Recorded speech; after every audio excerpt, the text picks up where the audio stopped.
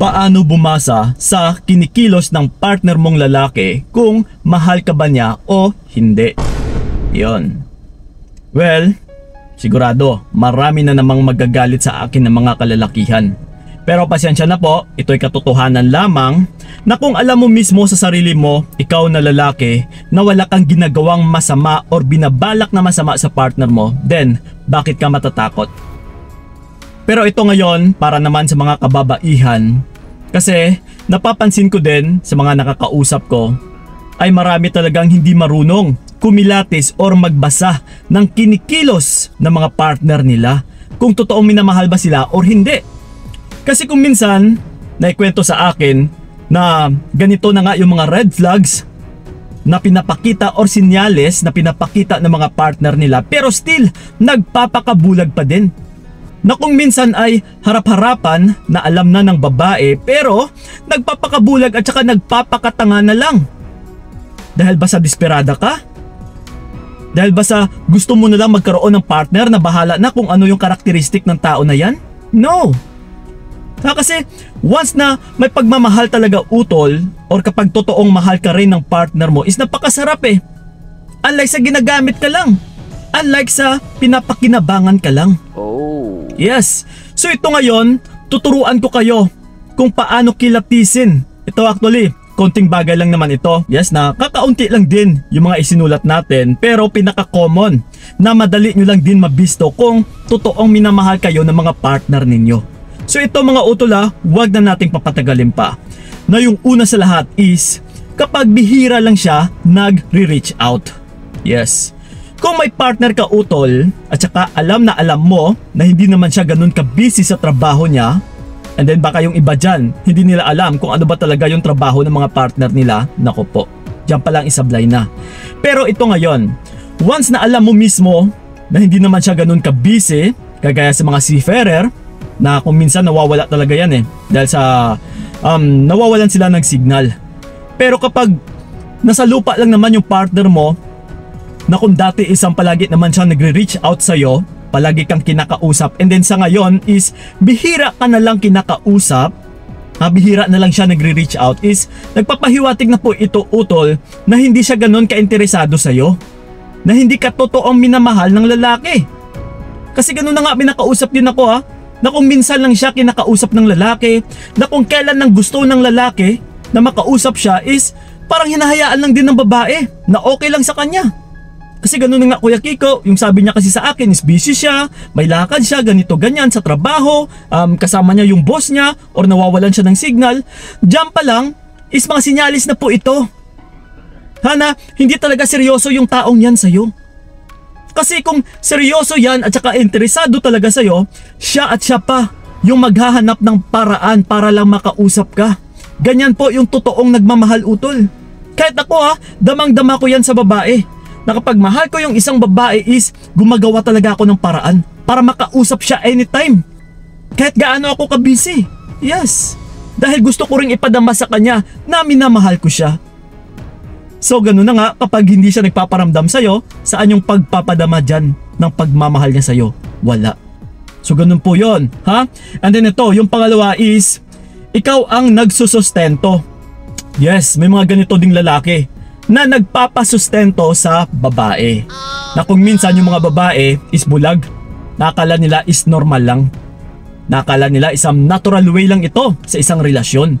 Na kung walang kinakaya or kung walang kaya yung isang lalaki is yung babae na lang muna yung magsusuporta or magsusustento. Pero yung hindi ninyo alam utol, pagpasok nyo pa lang sa relasyon, once na ikaw itong magsusustento sa partner mo, is red flag na po ito. Ibig sabihin ay hindi mo alam kung ano yung pinasok mong rule bilang isang babae. Na which is lumagpas ka na sa rule mo na kinakain mo na yung rule ng isang lalaki.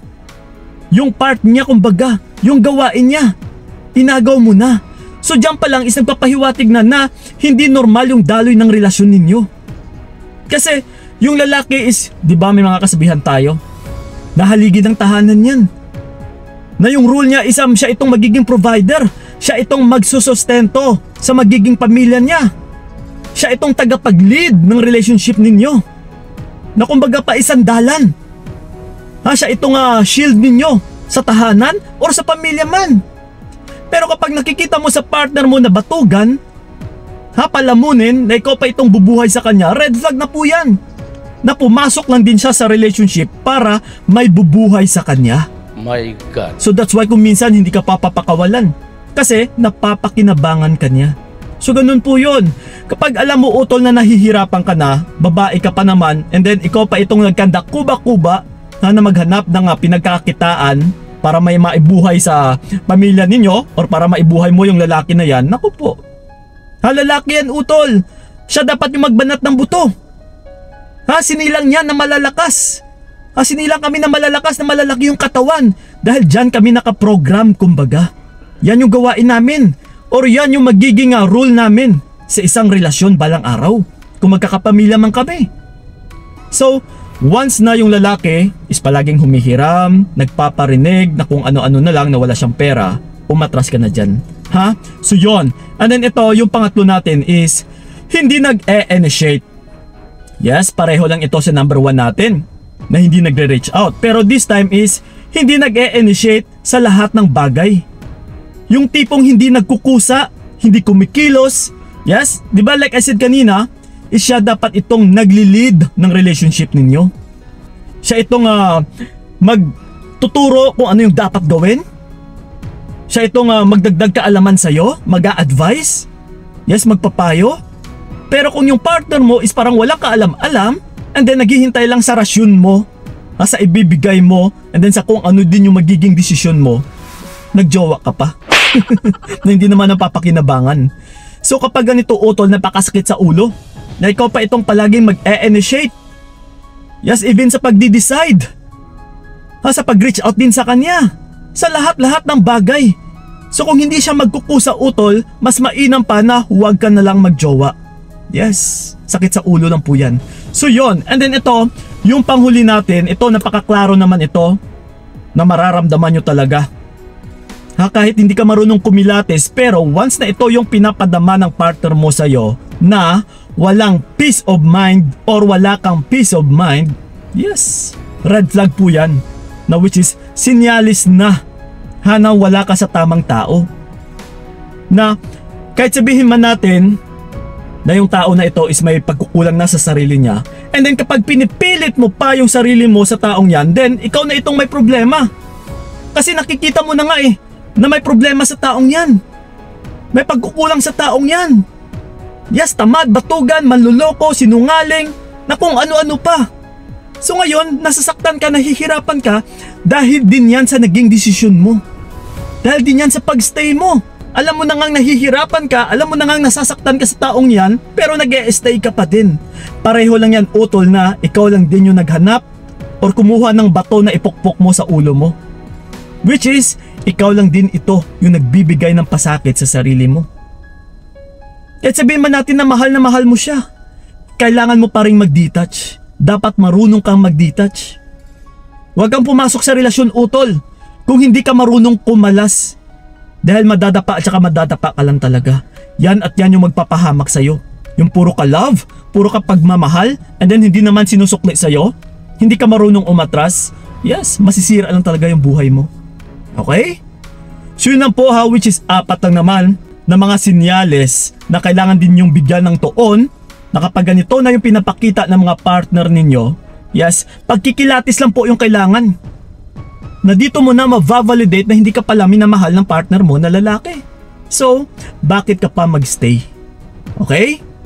So yun lang po mga utulasan na nakatulong yung video na ito and then sa mga gusto ko makausap one-on-one, puntahan nyo yung aking FB page na Payong Kaibigan ni Kiko. Yes, yun din yung pangalan natin. And then kita-kits tayo doon, ha? Maraming maraming salamat. So ingat kayo. God bless and babu! Sana hindi na lang ikaw ang aking ginusto gagawin lahat para wala kang masabi.